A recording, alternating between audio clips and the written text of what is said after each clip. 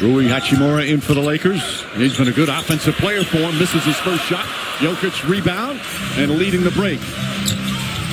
Gordon goes down low, stops, gathers, and banks it in again. There's so many people who want tickets to her show in Vegas, and they are so hard to come by. We need to get a hookup from Rich Paul and Adele. Here's his own rebound, knocked out of his hands, goes back up and in. He's been terrific scoring off the bench. His first points here tonight. And this is where Aaron Gordon's got to rebound the ball better. As Jokic Four slips to points the in rim. game two, 17 points in game one. How about LeBron James taking the challenge to defend and cool down Jamal Murray right now? Jokic tries a three. That's good. All up started playing with pace.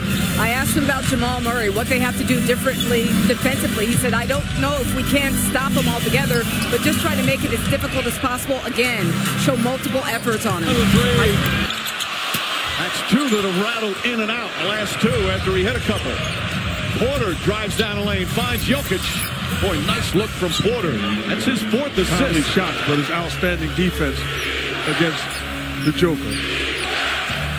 Jokic spins, count it, and one. And it's totally different with Jokic Hachimura. took 14 free throws the first two games. This is his first free throw of game three. And he complete. One point game. Still so much time remaining. Jokic, Murray.